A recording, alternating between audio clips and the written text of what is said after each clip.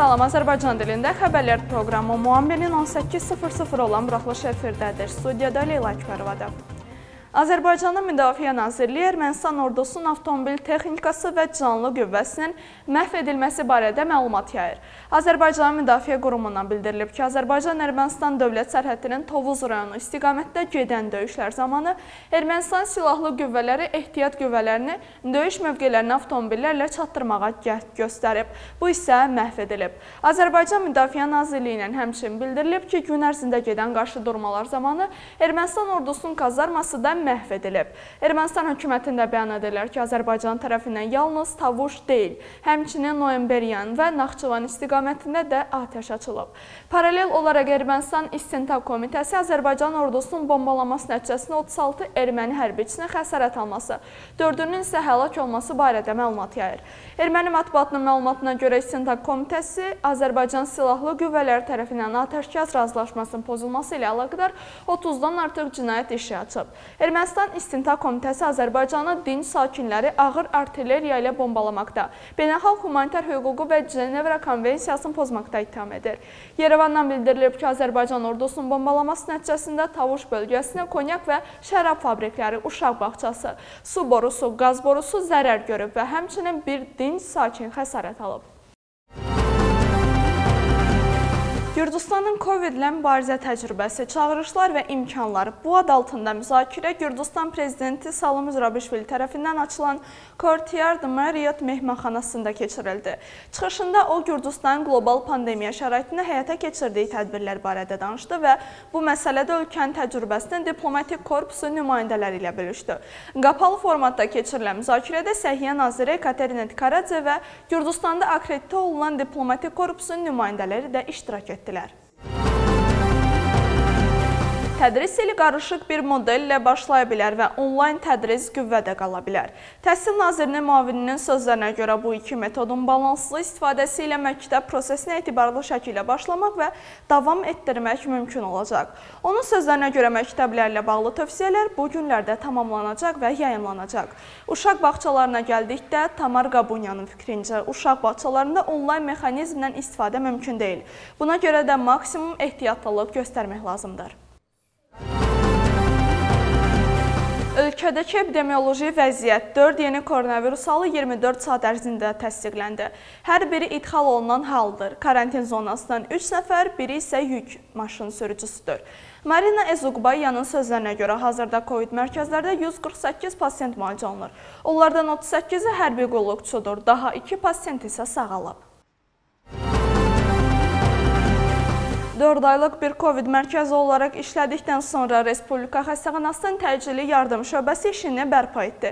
Klinikanın direktorunun sözlərinə görə artıq əməliyyatlar aparılıb və ürək-damar sistemi problemi olan xəstələrin ziyarətləri də edilib. Xəstəxana bu anda yalnız qismən fəaliyyətini bərpa etdi, çünki müəssisə hələ də COVID mərkəzi statusunu qoruyub saxlayır və bu istiqamətdə bir sıra çarpayılar bölünür. Hazırda həkimlər koronavirusa yoluxan 20 şübhəli pasiyenti izləyirlər, 5 yoluxan pasiyent isə müalicə olunur.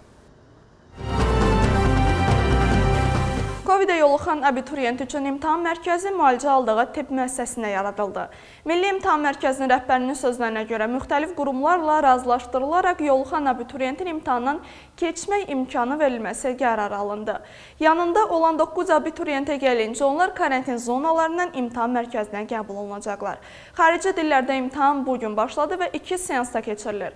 Sofiya Qorqodzanın sözlərinə görə gecikmə olmayıb, bir neçə abituriyentdə hərarət var və imtahanı onlar xüsusi ayrılan yerdə veriblər.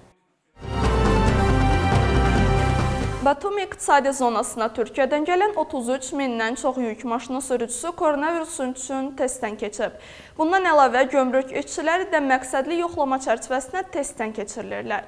Batumi iqtisadi zonasının ərazisinə koronavirus testi üçün lazımi avadanlıqla təchiz olunan xüsusi bir tip məntəqəsi var. Burada Gürcüstana daxil olan bütün sürücülər yoxlanılırlar. Mərdilik zorakılıq deyil. Bu sözlərlə Prezident Georgi Şakaraşvilinin işi ilə bağlı öz açıqlamasına aydınlıq gətirdi. Salam Zurabişvilinin sözlərinə görə mərdilik tanınır. Prezidentin sözlərinə görə onun bu açıqlaması xüsusi kütləvi informasiya vasitələri tərəfindən səhv başa düşülüb. Georgi Şakaraşvilinin işində ittiham olunan reqbiçilərin Vasil Maxaradze və Arçil Qaqnidzenin vəkilləri bu işdə zərər çəkən olaraq bilinən Yakob Reqvadzenin, Vaxu Axvledyaninin və Koko Ğibradzenin dindirilməsini tələb edirlər.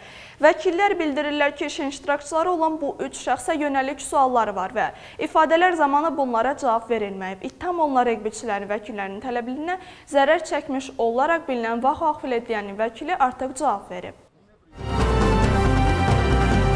Gürcüstan Avropa İttifaqı tərəfindən yenilənən təhlükəsiz ölkələr siyahısında qalır. Avropa İttifaqı Şurası təhlükəsiz ölkələrin siyahısını yeniləyib və siyahıda 14 ölkə əvəzinə artıq 12 ölkə yer alıb. Yenilənən siyahı ilə Avropa İttifaqı Şurası üzv dövlətlərə Gürcüstan, Əlcəzair, Avstraliya, Kanada, Yaponiya, Mərakeş, Yeni Zelandiya, Ruanda, Cənubi Koreya, Tayland, Tunis və Uruqvay ilə sərhədlərini açmağı tövsiyə edir. Avropa İttifaqı Şurası ilk olaraq iyunun 30-da üzv dövlətlərə ölkələr üçün sərhədlərin açılmasını tövsiyə edib. Bununla belə iyulun 8-də Gürcüstan Avropa İttifaqının bir neçə ölkəsi ilə sərhədlərini açıb. İşğalçılar tərəfindən saxlanılan Zaza Qaxeladze bu vaxtadək işğalçı rejimin əsirliyində qalır.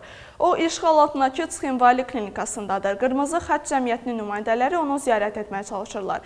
Daha sonra isə ailəyə məlumat veriləcək. Zaza Qaxeladzenin rus hərbiçiləri işğal həddi yaxınlığında şənbə günü saxlayıblar.